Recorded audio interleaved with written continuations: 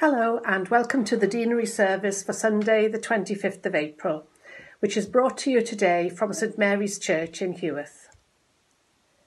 Jesus said, I am the Good Shepherd, the Good Shepherd who lays down his life for the sheep.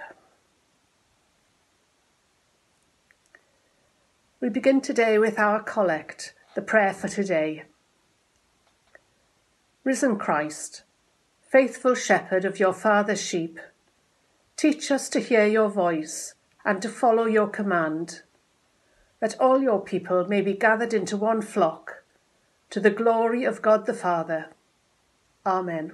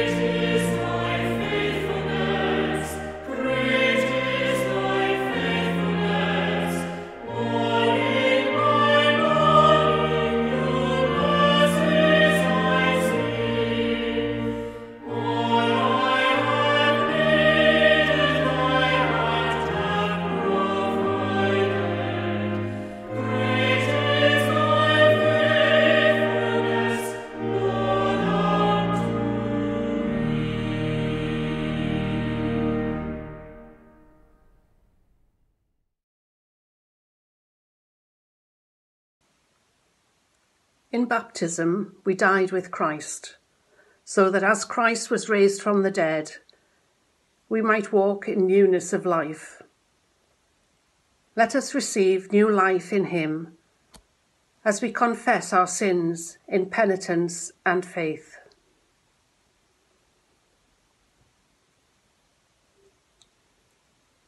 Like Mary at the empty tomb, we fail to grasp the wonder of your presence.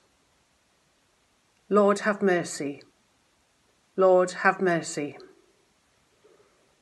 Like the disciples behind locked doors, we are afraid to be seen as your followers. Christ, have mercy. Christ, have mercy. Like Thomas in the upper room, we are slow to believe. Lord, have mercy. Lord, have mercy. Almighty God, who forgives all those who truly repent, have mercy upon you, pardon and deliver you from all your sins, confirm and strengthen you in all goodness, and keep you in life eternal, through Jesus Christ our Lord. Amen.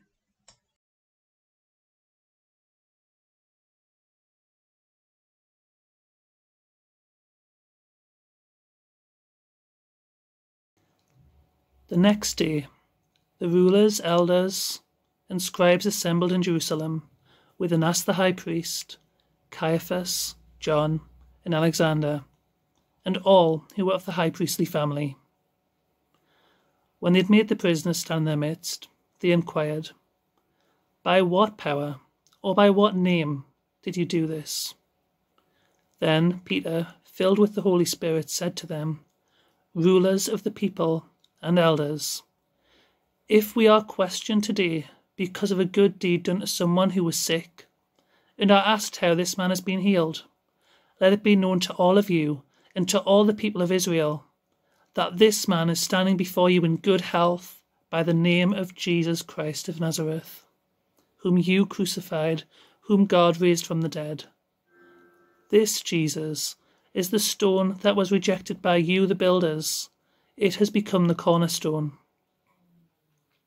There is salvation in no one else, for there is no other name under heaven given among mortals by which we must be saved. Your word is a lantern to our feet and a light upon our path.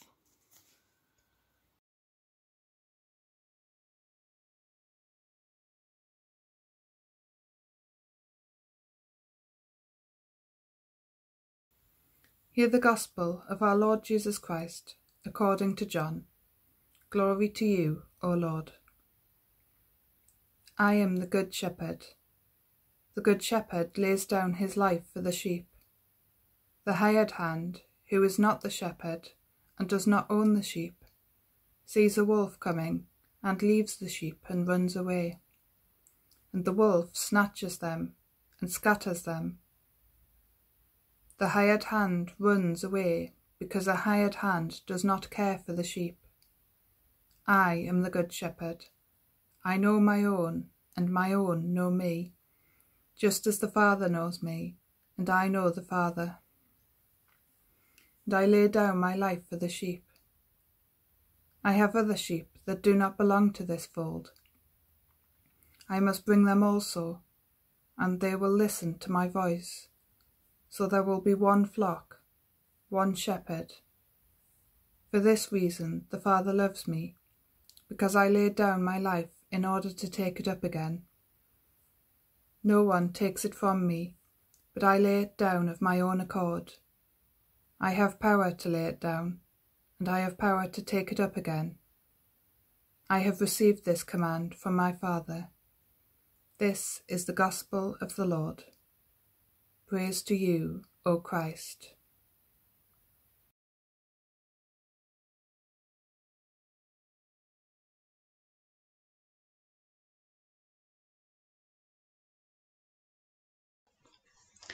Today is often referred to by the Church as Good Shepherd Sunday. I'm sure the Gospel reading is a bit of a giveaway as to why it gets that name. So, what is a Good Shepherd? The image we often see of Jesus as the Good Shepherd in paintings, etc., is a bit like the one that you have in front of you. It looks unbelievably cute and clinical. Nice and fluffy, white sheep, and the token lamb held by Jesus. However, we all know that in reality, that's not the case. A shepherd's life, certainly in Jesus' day, was by no means soft and fluffy. It was harsh and difficult. There was the constant looking for fresh pasture for grazing. The need to always be alert of dangers that surrounded the open and rugged countryside. Not to mention the lambing season and watching for sheep in difficulty or lambs struggling to survive. A shepherd's life was messy and difficult, often fraught with danger. Those who were shepherds were often considered to be the lowest of the low and were not recognized for the work they did. And they were also very poorly paid. The messy and dirty job nobody wants. It's typical of Jesus to liken himself and his ministry and care to that of a group of people who were rarely considered in the grand scheme of things. But a good shepherd would be an amazing asset to any landowner. The reason for this is the passion and the love they gave to those in their care. So Jesus likens himself to the Good Shepherd the person who has a real passion for those in his care. So many as we times we read in the Bible of Jesus' immense care and passion for those who come to him, for his love of all creation.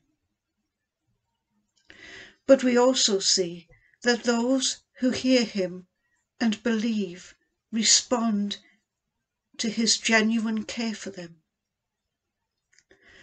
There is great trust and great belief that Jesus is there for them and will listen and be compassionate. They believe in his real connection with them and with God. They hear his voice and they trust him and know him. So, what does this say to us? How are we to follow Jesus' example? Our most important task is to make his love and compassion known in our world. We must be open and ready to meet people where they are. Be ready to listen and understand the needs and the context of people's lives and situations, and to understand their faith.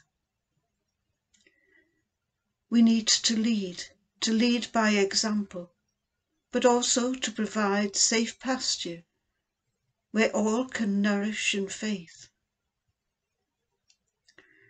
We need to be open to the dangers that confront people in this world and do whatever we can to help in bringing a better life in this world for both people and the whole of creation. We need to be ready to listen to God's voice and where He is leading us. This isn't for the faint hearted. It isn't for the young or the people withstanding in this world, but it is for every Christian.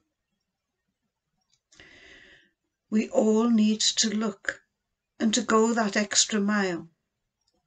We are called to come together as one flock to be nourished by one another, and to work as one body. To be fed by prayer and worship, which will strengthen and guide us. We are to follow the Good Shepherd and recognize his voice as he calls us. God calls us to follow the example of the Good Shepherd and gives us the strength and courage we need because he is ever watchful, and truly the Good Shepherd, who leads us and shows us the way that we can care for his sheep and bring the flock together to meet the Good Shepherd, our Lord and Saviour, Jesus Christ. Amen.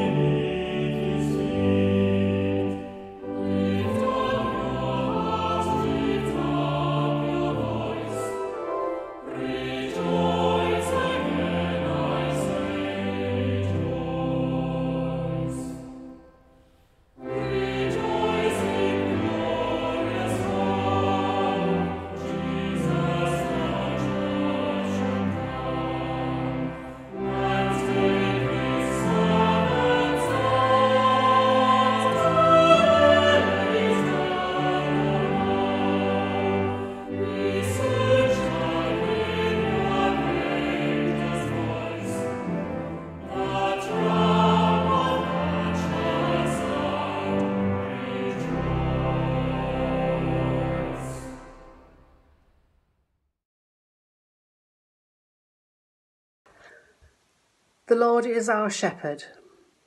Knowing his care for us, let us pray. Father, we give you thanks and praise for Jesus, the Good Shepherd. Help us to hear his voice and to follow him.